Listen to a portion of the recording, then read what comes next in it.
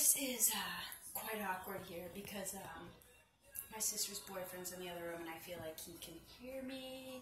So I'm gonna do this quick. I put music on outside the door to distract my voice.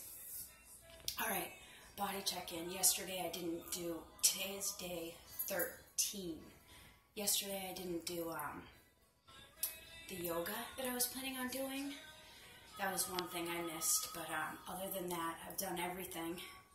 Yes, I did everything yesterday. So today is yoga at um,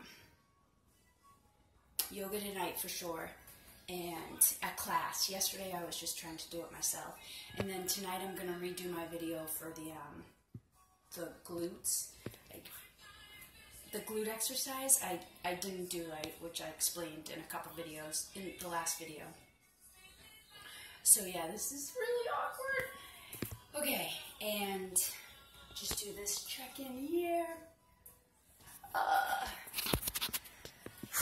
that's the problem area, and, um, and this. So that's driving me to eat really healthy and exercise, which is good for my mind. And Charlie's here.